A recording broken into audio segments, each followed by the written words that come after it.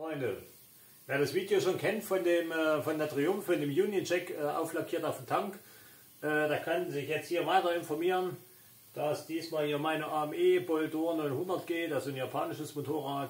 Äh, kommt natürlich die japanische Flagge drauf, in dem Fall die japanische Kriegsflagge. Äh, der Tank wird jetzt gefüllt mit Standoxfüller. Alles abgeklebt, habt ihr Fotos vorher gesehen. Die Abkleberei macht immer die meiste Arbeit. Ob das jetzt alles richtig war, das sieht man zum Schluss. Hier wird wie immer mit äh, Furch äh, gearbeitet und damit Postkaststiften. Ähm, wird es dann noch zum Schluss verfeinert. Das soll jetzt nicht hier schickimicki werden, da kommt zum Schluss ein matter Klarlack drauf.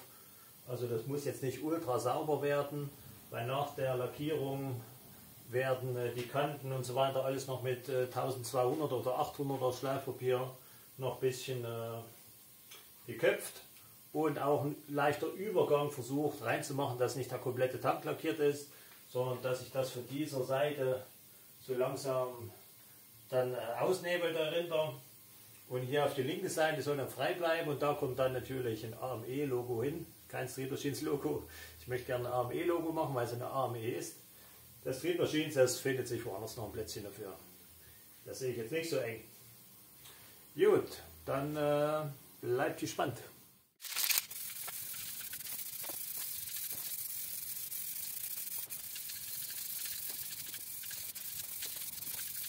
Das war immer die erste Lage. Äh, dadurch, dass es diesmal grau äh, vorlackiert ist, äh, gegenüber bei der Triumph mit der weißen Vorlackierung, denke ich mal, ist das Rot ja etwas dunkler. Zum Schluss, das hat jetzt hier natürlich noch überhaupt noch nicht gedeckt. Aber die, für die erste Lage ist okay. Die 1K-Lackierung sollte man nicht zu dick auftragen, sonst trocknet das nicht durch.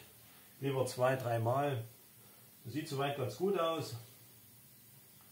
Ich habe das schon doch äh, weit rumgezogen. Ich sage mal, was zu viel ist, kann man immer wegschleifen.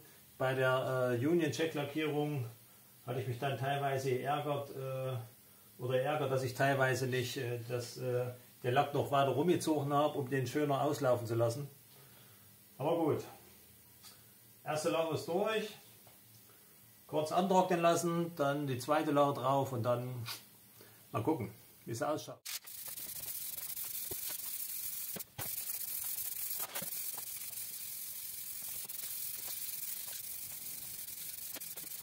Sieht jetzt schon mal soweit ganz gut aus, hat äh, sehr gut gedeckt. Ich mache jetzt nur noch mal so ein paar kleine Ausbesserungen. Äh, drunter ich so ein, zwei Sachen vergessen, die noch äh, besser ausgenebelt werden sollten. Ansonsten sieht es soweit gut aus. Ich würde sagen, Mittagspause und dann Klebeband abziehen und dann gucken, ob das so geworden ist, wie ich mir das vorgestellt habe. Aber ich bin äh, ganz guter Hoffnung. Ich habe jetzt hier mit Absicht, ähm, die roten Streifen sind etwas schmaler wie die Zwischenräume äh, weil hier in den Zwischenraum noch die Kante mit Postkaststift teilweise ein bisschen äh, schwarz liniert werden soll. Äh, ich hoffe mal, das ich hoffe mal, sieht gut aus.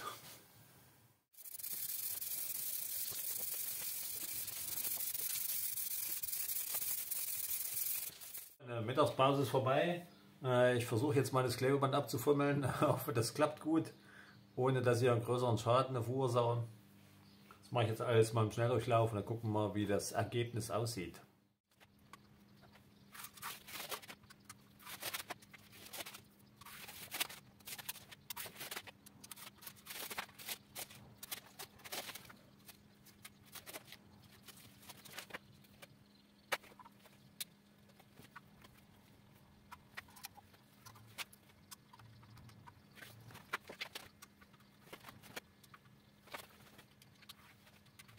Ganze Klebeband mal entfernt, da ganz schön auf Fummelkram. Natürlich sind auch in der Mitte eine Mücke gelandet.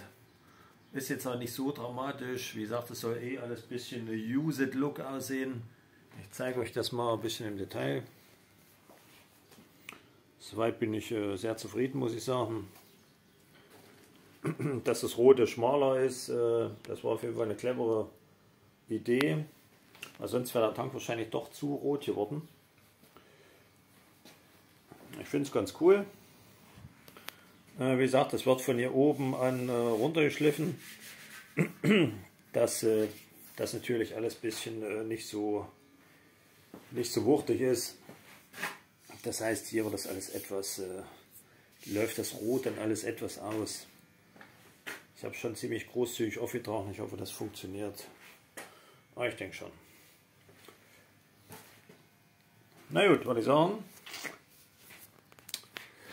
Würde ich sagen, bleibt am Ball. Ähm, das Video endet jetzt ja erstmal. Das ist sozusagen erster Teil äh, von, der, von der Lackierung. Äh, am Montag mache ich dann, äh, geht es dann weiter. Das wird dann zu lang. Also bleibt am Ball, abonniert unsere Kanäle. Facebook, YouTube, Instagram und so weiter. Also würde ich sagen, man sieht sich beim, beim zweiten Teil.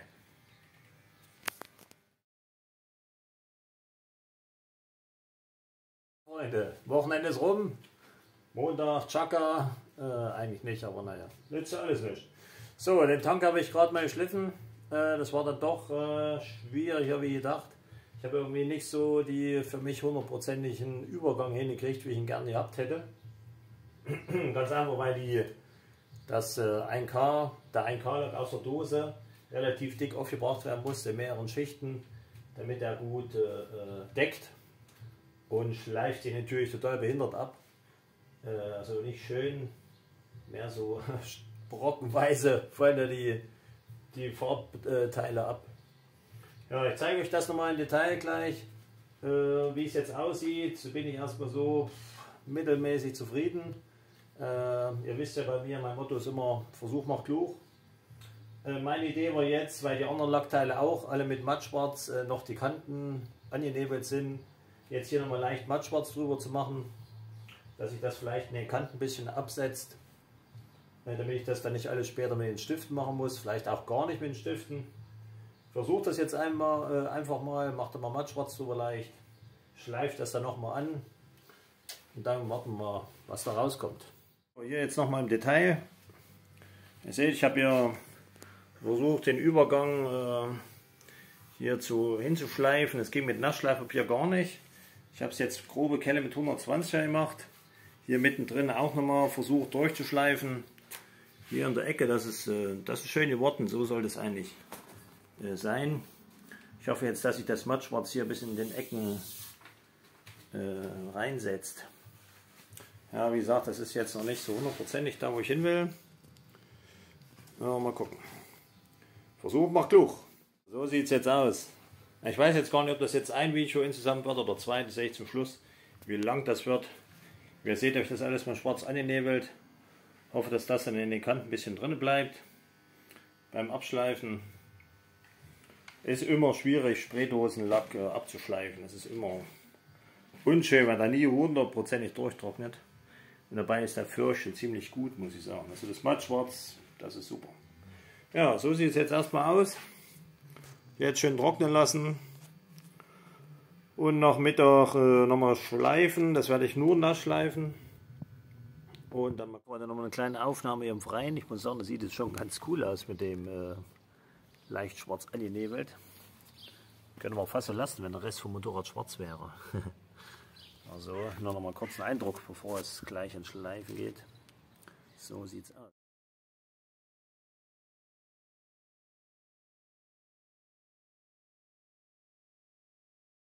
So Freunde, das äh, Projekt äh, Tanklackierung mit äh, japanischer Kriegsflagge ist soweit abgeschlossen. Jetzt fehlt bloß noch äh, der matte Klarlack oder Seitenmatt, das weiß ich noch nicht genau. Hier seht ihr den Tank gleich mal angebaut in dem Projekt. Das ist das äh, AME-Projekt Bulldor 900. Äh, ja, ein schöner Vierzylinder-Shopper im 70er Jahresstil. Ich zeige euch gleich nochmal die, die Details im Tank. Und naja, ich sag mal so, ich bin äh, 89% zufrieden. So, seht ihr das mal ein bisschen. Ja, das war eine sehr gute Idee mit dem Schwarzlackieren drüber. Allerdings habe ich dann äh, vor lauter Vorfreude das fast alles wieder weggeschliffen. Das sah eigentlich ganz cool aus. Deswegen habe ich das jetzt im Nachhinein noch mal ein bisschen mit äh, äh, Postkaststift gemacht. Habe den Postkaststift aber auch wieder teilweise weggeschliffen mit so äh, flexiblen 800er Schleifpapier. Seht, ich habe das hier alles auslaufen lassen. Hier soll dann noch der ähm, AME-Schriftzug hin, der Originale, auf, nur auf die linke Seite. Ja, so sieht es jetzt aus momentan. Wie gesagt, ich bin nicht hundertprozentig zufrieden, aber ich sag mal, das ist schon so die Richtung, wo es hingehen sollte. Das weiß man vorher nie, wo man da landet. Beim Schleifen kann es halt schnell passieren, dass man dann doch mehr wegschleift, wie man wollte. Äh, naja, das ist halt so. Das ist halt die künstlerische Freiheit, die man da hat. Gut, dann war es das erstmal mit dem Video und äh, ihr seht das äh, Projekt, wenn es dann fertig ist. Ihr könnt uns natürlich wie immer folgen auf äh, YouTube, Facebook und so weiter. Ihr seht bei den Seitendecken und so weiter, da habe ich hier das alles ein bisschen schwarz lackiert. Auch wieder weggeschliffen, dass nur die Kanten ein bisschen schwarz sind. Hinten genauso an den Kotflügeln. Dass es schon grau ist, aber nicht so langweilig grau. Jo, dann ist Roger. Dann würde ich sagen, man sieht und hört sich.